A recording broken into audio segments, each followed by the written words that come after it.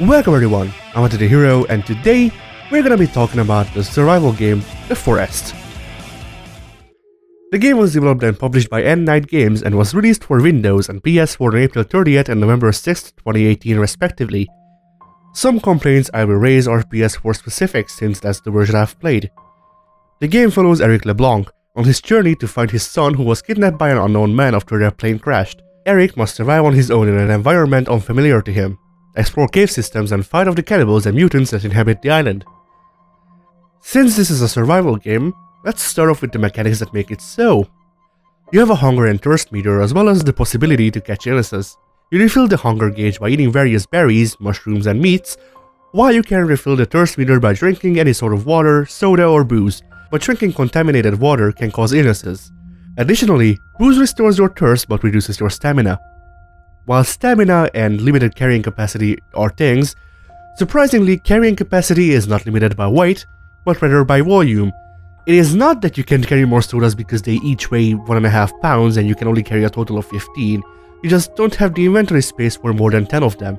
This being a variable, based on the item itself and not an overall thing, also means that while you're not able to carry all of the necessities that you may want, you can still carry half of the island on your back with stuff like having over 200 leaves on you at all times and stuff like that. The game features a variety of weapons including DIY and pre-built ones such as spears you can craft and things like the katana which can be found in a cave. There's also multi-purpose tools such as the axes and chainsaw which can act as weapons while also aiding you in deforesting the area.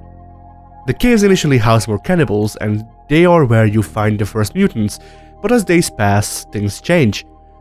First, it's just the mutants that join the cannibals in attacking your base, then the smurfs, and then the smurf mutants. There's some other stuff that shows up as well, but I'll avoid talking about that because of spoilers, so just know they're out there. Now, here's what I think are some PS4 specific things I've noticed. For one, the control scheme takes some getting used to at first, but whatever, made for PC first, ported to PS4. Motion blur is just there, you can't turn it off or make it less apparent, it's just there. The game also technically has performance and looks graphics modes, and the game's graphics do change somewhat, but it's really a choice between having around 15 and 30 frames of input lag, if not even more. There's also semi-frequent screen tearing that's visible to the naked eye sometimes, at times the game crashes on loading into an online game or respawning if you are playing with other people, and physics and assessing new areas make the game stop and think for a second more often than not. Problem is, this second can range from an actual second to making you think the game crashed. You're on fire! Whoa! Anything, Whoa! anything that is concerning physics breaks this game, I swear. Flames. Now into the sound design, the game from what I could tell has next to no music aside from small pieces and stings for plot developments and the menus. So I was wrong.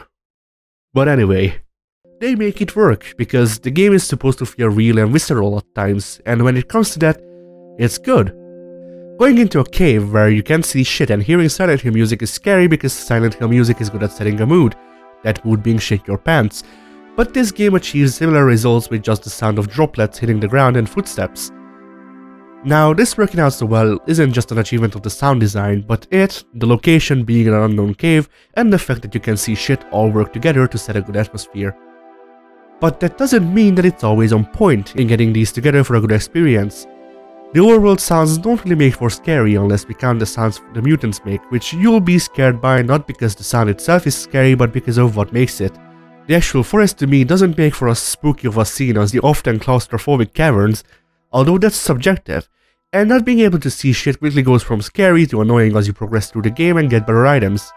So in the end, what do I think of the forest? Well, it's okay. I don't mind it. There's a lot of good and some bad. Overall, having more good than bad. At least what I could tell, but then we weigh in the stuff with the PS4 port and then the view gets muddy. Really what I'm trying to say is, if you wanna get this game, get it on PC if you can because the port didn't work out like it shoulda. I hope you enjoyed this video, and with that, goodbye.